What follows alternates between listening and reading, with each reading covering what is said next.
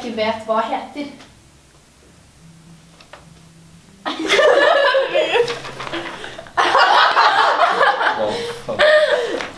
Jeg har aldri sett på porno.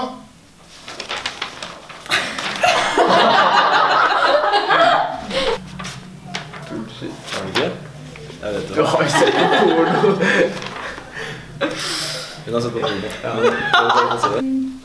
Jeg har aldri stjålet noe.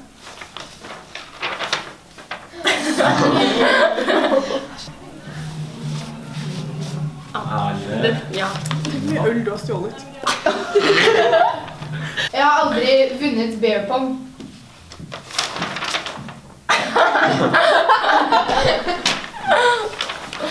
Evig time. Det? Du har aldri vunnet! Jeg tror ikke det. Det er kjempetrist. Jeg vinner hver gang. Jeg har vunnet med andre på laget, da, men jeg har Jeg har aldri skiftet en lyspære.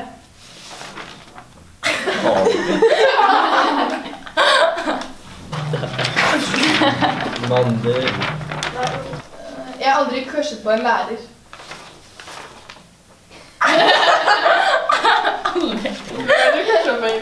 KM på konsertlæreren min.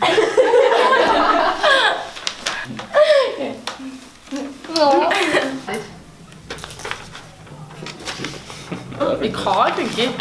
Ja, vikar er innafor. Ja, skikkelig digg vikar på ungdomsskolen. Jeg har aldri hatt fylleangst.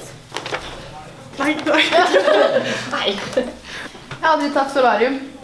Jeg måtte prøve en gang. Derfor er jeg så brun. Det var en waste of time, da, men ja. Jeg har aldri spist blekksprut. Smaker dritgodt. Kalamari tror jeg ikke på. Ikke. Jeg hadde hooka mer enn tre på en kveld.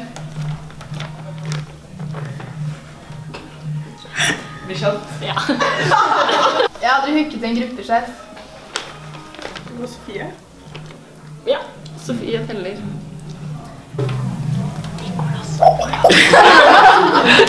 Ok, jeg har aldri løyet, for jeg har aldri.